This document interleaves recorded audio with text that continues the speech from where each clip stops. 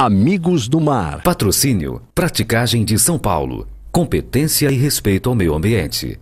Hoje na ilha, toda a parte da educação, ela, as crianças, nós temos a parte da educação menor, de quatro meses a seis anos de idade, cinco anos de idade. E de seis anos até o segundo grau é, maior, né, o segundo mudou um pouco agora a terminação, mas aí é, eles estudam na ilha. Nós temos duas escolas, e hoje nós temos aí em torno de 800 alunos.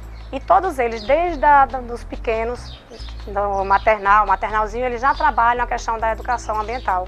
Lá eles já aprendem a fazer a, separação do lixo, eles já aprendem a aproveitar ao máximo o alimento é, e economizar e, e trabalham essa questão do meio ambiente.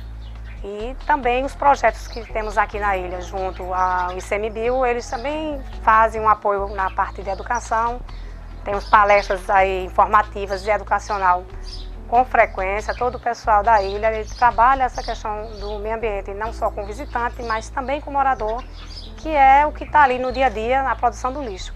Até quando vamos ao continente, compramos alguma coisa, evitamos trazer nas caixas, nas embalagens do pro, lá, porque trazemos essas embalagens para cá, chegar aqui, vamos colocar no lixo e vamos pagar para esse lixo ser retirado da ilha. Então é melhor é, fazer dessa forma. Todo mundo já é bem consciente em minimizar ao máximo essa questão do, do uso de matérias que não vão ser aproveitadas aqui, matérias orgânicas que vão ser descartadas.